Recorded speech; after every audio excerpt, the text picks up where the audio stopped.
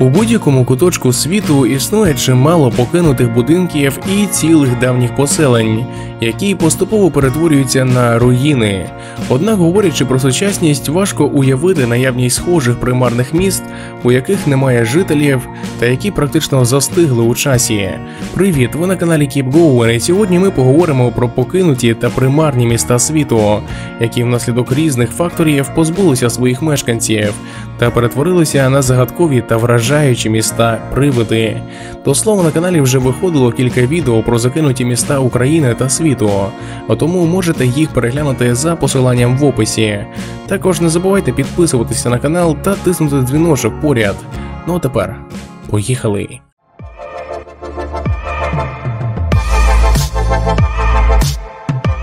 Розпочати випуск про закинуті міста світу можна з невеличкого радянського містечка на холодному північному архіпелазі Шпіцберген, у якому зараз постійно проживають лише 7-10 осіб узимку та до 50 осіб з урахуванням туристів влітку. І судячи з таких цифр, а також і покинутих домівок, можна дійти висновку, що містечко Піраміда, яке було наділено найпівнічнішими вуглевидобувними шахтами у світі, є практично полишене людьми. І справді, таке робітниче поселення, яке розміщено на норвезькому скупченні островів під назвою Шпіцберген, та яке було продано радянським вуглеводобувним компаніям, є законсервованим, а самі шахти давно закритими. Сам же занепад піраміди, яка так зветься через пірамідальну форму гори, біля підніжжя якої і знаходиться місто, стався через розорення вугільних шахт, ускладнення в добуванні корисних копалин та як наслідок і нерентабельність такого поселення. Зараз же піраміда є примарним містом в Арктиці, яке справді застигло в часі та наділено типовими радянськими будівлями, інфраструктурою та, звичайно ж, і погруддям Леніна. У часи розквіту міста воно налічувало більше тисячі робітників, а відповідно і мешканців, для яких були збудовані будинки, їдальні, спорткомплекс з басейном та кінотеатр. Зараз же віддалена від усіх крупних міст на десятки кілометрів поселення піраміда є доволі занедбаним, однак його хочуть перетворити на туристичну локацію. А тому спільно з норвезькою стороною були відновлені деякі об'єкти піраміди, а зокрема готель для туристів та кінотеатр, у якому можна переглянути старі фільми 60-80-х років минулого століття. А дістатися піраміду туристам можна лише на судні або ж на снігоході взимку. Ну а після холодної півночі можна перейти до протилежного півдня світу, а зокрема Аргентини та її міста привида під назвою Віла Епекуен. Кадри з таким зруйнованим та вщент понівеченим містом і справді вражають, і зрозуміло не викликають жодних сумнівів у закинутості такого поселення. Однак у випадку з Вілла Епекуен цікавою є саме причина такого занепаду міста, яке у народі вже прозвали Аргентинською Атлантидою. Так саме містечко Епекуен у свої часи було відомим туристичним та процвітаючим поселенням, що підтверджувалося проживанням у місті 5 тисяч людей, наявністю близько 300 видів бізнесу у вигляді готелів, магазинів, гостьових будинків та міні-підприємств.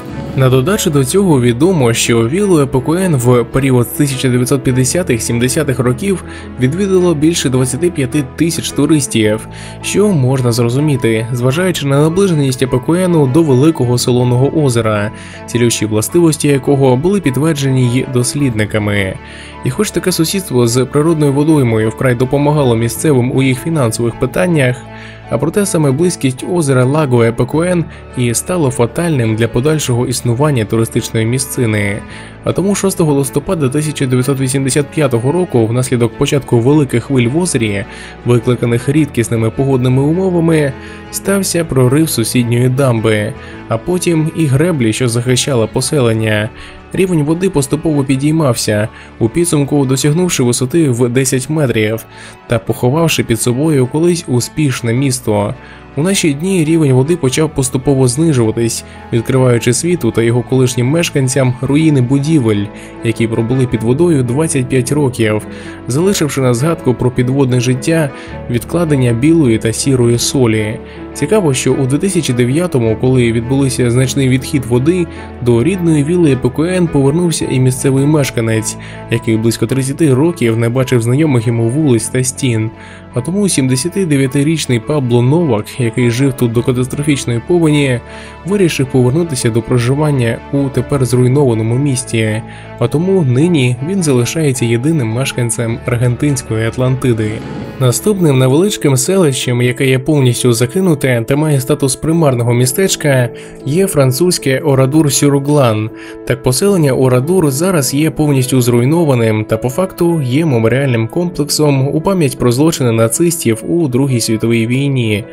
І саме крихітне селище Орадур з населенням, яке колись становило близько 700 мешканців, у наші дні нагадує про жахливу історію наймасштабнішого військового конфлікту людства, де в 1944 році німецькі війська через підозру у викраденні та утримуванні партизанами офіцера СС Гельмунта Кепфе оточили селище Орадур Сюруглан, і подальша доля мешканців такого населеного пункту була вже заздалегідь вирішеною, адже всіх чоловіків Орадуру було розстріляно, а жінок і дітей замкнуто в церкві та підпалено. Врятуватися вдалося тільки 26 жителям селища з близько 700 мешканців. А тому рішенням лідера воєнного часу Шарля де Голля Орадур Сюрглан було оголошено меморіальним центром, а осторонь було збудовано нове одноіменне місто Орадур, яке в наші дні налічує більше двох тисяч жителів. Ну і не менш цікавим закинутим місцем світу є острів практично в самому центрі добре відомого всім Нью-Йорку. Так важко собі уявити, що посеред перевантаженого людьми та автомобілями багатомільйонного міста Нью-Йорк існує повністю закинута та безлюдна місцина. Однак факт залишається фактом, що острів Норд Бразер, що знаходиться лише за 350 метрів від берега, з 1960-х років минулого століття залишається покинутим людьми.